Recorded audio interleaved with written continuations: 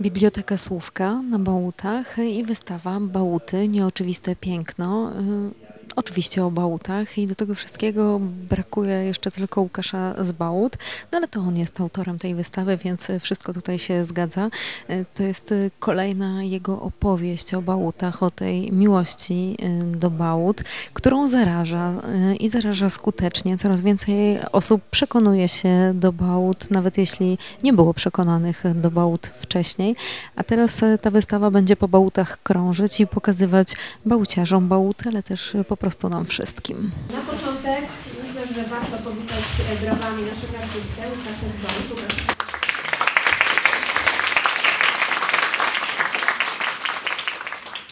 E, Serdecznie także witamy Radę Osiedla Bałty Doły, dzięki której e, możliwe jest zrealizowanie wernisażu i całej wystawy.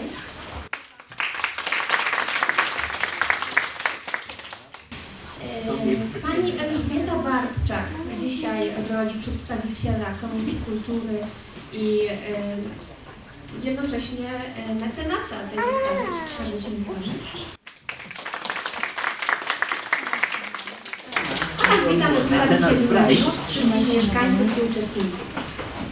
E, Myślę, że może zacznę krótkim wprowadzeniem. Dlaczego, dlaczego u nas Słówka, jak wszyscy wiemy, znajduje się, znajdują się w sercu e, Bałty. Jesteśmy żywo zainteresowani historią e, tego miejsca, jak i lokalnym patriotyzmem, myślę, że e, jest to idealne miejsce, żeby zacząć e, wystawę.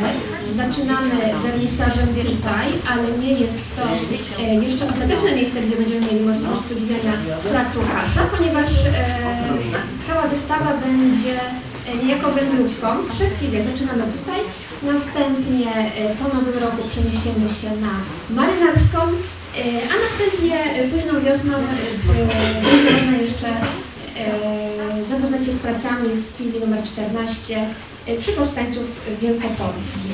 Myślę, że dzięki jego fotografiom zostaną te drewniane domki, zostaną jakieś stare kamienice, których być może niedługo nie będzie.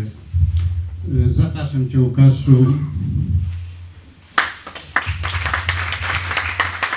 Dzień dobry, dziękuję za przybycie. Chciałem bardzo podziękować Radzie Osiedla Bałty Doły. To już? Dziękuję bardzo. Chciałem bardzo Radzie Osiedla podziękować bibliotece. No myślę, że to jest coś takiego, że, e, że to jest dobre miejsce, że tutaj dużo ludzi może zobaczyć te prace. Ja się cieszę, że mogę jakoś tam e, promować te bałuty. W sensie ja je kocham i je pokazuję tak jak ja je widzę. Część ludzi podziela to, także yy, to by było na tyle. Ale jeszcze tylko powiem, że, e, że za kilka minut po tym wszystkim chciałem odpalić taki jakby premierowy film, który y, robiłem niedawno, ale to za chwilę. Dziękuję bardzo. Jesteś już ambasadorem Bałut, już rzeczywiście wszyscy wiedzą, że jako Bałutach e, to do ciebie, ale powiedz, czy już jest tak, że odczarowałeś te Bałuty, bo wszystkim się wydawało, że Bałuty to jest najgorszy brud, syf i wszystko co e, brzydkie. E, Już odczarowałeś trochę te Bałuty, przekonałeś, że można spokojnie tam pójść i nie zginąć od razu, a nawet zobaczyć coś ciekawego? No ja nie wiem, no. Ja tak chodzę i znajduję ciekawe rzeczy. E, Wydaje mi się, że inni też mogą to znaleźć, ale chciałem też powiedzieć, że jak o bałutach, to do bałut. Gdzie chodzisz? Masz swoje ścieżki takie, że można cię tam spotkać? No wiesz co, zarzucają mi, że za dużo jest woja Polaka, ale to moja jest ulica, co nie? I jakby tak wiesz co, zawiewa mnie, wiesz, powiedzmy od placu kościelnego na wschód najwięcej, ale też jest tak, że po prostu bardzo na przykład lubię chodzić na Limankę, no też mam tam kolegów, wiesz, i yy, jest, wiesz, całkiem przyjemnie, tam jest takie moje ulubione miejsce, wiesz, do którego chodzę, no, no tutaj to wiadomo, no jest najbliżej, no też, a tu, tu tutaj ta strona wschodnia to bardzo o mnie dbają tutaj, wiesz. To znaczy, że dbają? To znaczy, że jak pójdziesz, to każdy, jak takie zdjęcia są zimowe, to zawsze ci gorącą herbatę dadzą. No wiesz, no mam takie miejsca, no teraz nawet wiesz, jest tutaj biblioteka, biblioteka na Marynarskiej, Centrum Dialogu, Kiełbasiarnia, wiesz, no to są takie miejsca, gdzie po prostu zawsze mogę wejść, właśnie ogrzać się, wiesz, miłe słowo z kimś zamienić, no ponadto dużo ludzi tutaj spotykam też, których po prostu znałem, którzy znają mnie nie tylko, wiesz, z internetu, tylko jeszcze, jakby to powiedzieć, no z życia Przed internetu? przed, sprzed internetu. Zawsze jak gdzieś idziesz na spacer, to robisz zdjęcia, bo ja czasami mam wrażenie, że ty po prostu co, zawsze robisz zdjęcia, bo tych zdjęć jest tak dużo i, i ciągle się jakieś pojawiają. To jest tak, spacer bez zdjęcia to spacer stracony? No, prawie, że tak. No. Chociaż bardziej chciałbym czasem się tak, wiesz, delektować tym, ale powiem Ci, że zdarza mi się już teraz tak iść i tak zbierać pomysły, ewentualnie sobie, wiesz, pozapisywać, bo też myślę, że wiesz, że w końcu w przyszłości to jednak pójdę w literaturę, nie będę ta- tachał tych aparatów, bo to jest, wiesz, za ciężkie. Dobra, rozumiem. E, Będziesz wtedy pisał o bałutach. Kamerzysta wie przecież o co biega. Kamera jest za ciężka, aparaty za ciężkie, ale co będziesz, notesy będziesz nosił, też ciężkie. Notes będę, wiesz, no to jest, gdzie tam notesik taki, wiesz, no. Notki można sobie zresztą wziąć, wiesz, dyktafon po prostu w telefonie, a potem w domu przepisać, wiesz, wszystkie te inspiracje sobie, wiesz, wynotujesz i Ludzie się ciebie pytają, jak ktoś jest pierwszy raz w Łodzi. się mnie boją. No błagam cię. Nie pytają się Łukasza, Łukasza z Bałty, że na przykład jak ktoś przyjeżdża pierwszy raz do Łodzi i chciałby zobaczyć Bałty, to gdzie ma iść? Masz takie już pytanie, że jesteś takim specjalistą od tras? No pytają mnie, ale wiesz, no, Ale nie odpowiadasz. no trochę nie odpowiadam, bo jednak to są, wiesz, takie te trasy, wiesz, do każdego, gdybym był, wiesz, y, takim przewodnikiem, to chyba i tak dobierałbym, wiesz, y, indywidualnie te trasy, no. Bo czasem kogoś gdzieś zaprowadzę i tak widzę, że tak, no nie, za bardzo hardkorowo, że tutaj za brudno, a ktoś chce po prostu do klimatycznej kawiarenki, wiesz, no na przykład. A to jest tak, że wiesz, że mówiłem już kiedyś, bałuty, chleb, nie fruty y, i... I po prostu czasem jest tak srogo, ale jest po prostu przez to no tak prawdziwie, co nie? I niech każdy idzie gdzie chce, no po prostu jakby wiesz, jest tak, że jak idziesz i widzisz, że w tej bramie czujesz, że może być coś ciekawego, to pewnie to tam znajdziesz, co nie? Ludzie mają swoją intuicję, także powinni w nią wierzyć. Bałty się zmieniają? Bardzo się zmieniają, no. Znaczy w ogóle, bo tak wiesz, no ja sobie tutaj dużo, wiesz, żartuję i tak dalej, ale prawda jest taka, że ta moja praca to jest właśnie to, żeby po prostu ocalić od zapomnienia to, co jeszcze jakby, wiesz, zostaje. Dziś też pokażę taki, wiesz, y, film, który tutaj przygotowałem, bo wyobraź sobie, że na tej stronie mojej odezwał się kiedyś taki, wiesz, chłopak, mężczyzna w zasadzie, wiesz, co nie, już prawie 50-letni i mówi, tak, ja mieszkałem w tej kamienicy. No ja piszę, a ty miałeś takie dwa psy? No tak, to ja, no to widzisz, to ja cię kojarzę, jakby z widzenia, no nie znaliśmy się, ale coś, wiem, wiem, wiesz, co nie, mówię, może byś przyjechał, bo on już teraz nie mieszka w Łodzi i opowiedział o tej kamienicy, a ta kamienica jest teraz już przeznaczona do rozbiórki. I wyobraź sobie, że w ogóle ten gościu przyjechał i dzisiaj nawet, wiesz, zaprezentuje taki krótki filmik, jego wspomnienia w ogóle, jak chodzimy po tej kamienicy i tak dalej.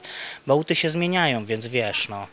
To jest tak, że nie, niedawno tam ludzie mieszkali w latach 90., ciągnęli wodę w ogóle, co nie, bo była tylko na podwórku wcześniej. No, a teraz już to jest w zasadzie, wiesz, do wyburzenia taki pustostan. E, wiadomo, no to co się dzieje, że dużo po prostu jest takich. E, mm, no takich, wiesz, miejsc, gdzie, wiesz, fajnie coś wyburzyć, bo na przykład przy Parku Ocalałych jest ta ulica Brzeska, gdzie były takie, wiesz, super e, małe kamieniczki i tam było takie, wiesz, życie jak na wsi, no ale wiesz, że to są też tereny przy parku, który był zrobiony. Kiedyś ten park był takim po prostu nieużytkiem, fajnie tam zamieszkać, co nie, no i jakby, wiesz, no nie będę mówił, że jest takie lobby, no po prostu jakoś tak się, tak się dzieje, że wiesz, że ci mieszkańcy, którzy tam byli są wypierani. Oni też rzeczywiście często nie umieli zadbać o te miejsca, ale też są wyjątki, bo właśnie na ulicy Brzeskiej jest jeden z lepiej zachowanych drewniaków i tam jedna pani w ogóle przy nim to ma po prostu tak piękny ogród, że to się w pale nie mieści. I to jest w ogóle ten domek, co nie? I to jest tak, że po prostu, wiesz, tutaj po prostu wszędzie, wiesz, tutaj są jakieś ławeczki, kwiaty kwitną latem, no wiesz, przepiękny widok. I I to co, znika? Znikają te widoki, te miejsca, bo się pojawia nowe. No tak, no po drugiej stronie tego w ogóle, tej uliczki, tutaj jest wyjście na ulicę, to po drugiej stronie masz już, wiesz, takie małe apartamentowce. Żyliszcza białych kołnierzyków.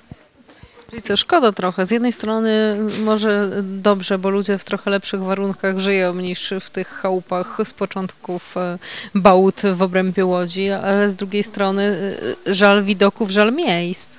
Wiesz co, no rzeczywiście, no mi się wydaje, że może być tutaj ciężko, natomiast też wydaje mi się, że jakby poziom ogarnięcia niektórych tych osób, tak jak tej pani od tego ogródka, jest po prostu tak zadziwiający, że wiesz, no, że naprawdę sobie poradzi, no. Chciałbym po prostu móc jej tylko tak ciut, wiesz, pomóc, żeby było lepiej, ale ogólnie rzecz biorąc, no wiesz, Chociaż kawałek tych takich bałut, jakie pokochałeś, został.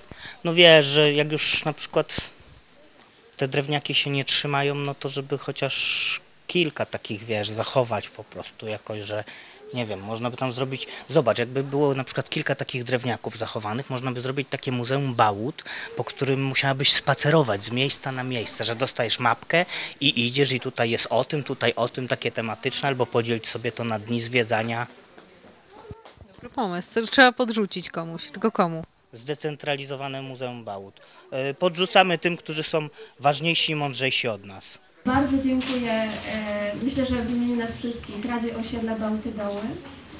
E, Dziękuję zespołowi Suwek, który e, no, też zaangażował się mocno w realizację tej wystawy, której no, rezultaty będziemy mogli podziwiać po części z Łukaszem, ponieważ Łukasz już podziękował, ale myślę, że tak szybko nie będziemy się rozstawać. Myślę, że, że to dopiero początek. I serdecznie dziękuję działowi promocji e, Biblioteki Miejskiej w Łodzi.